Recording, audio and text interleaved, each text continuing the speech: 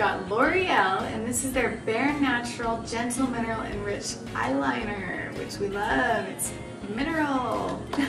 That's right. Safe. And it actually is, um, the pencils are great. They are, are they're German pencils. They glide on really nicely. They stay on um, very, very smooth and, and easy to control. So we love that.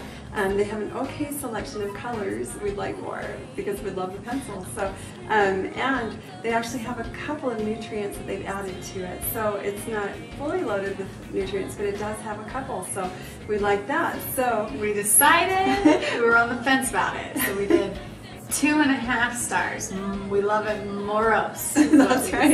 It's a great pencil. Highly recommend it.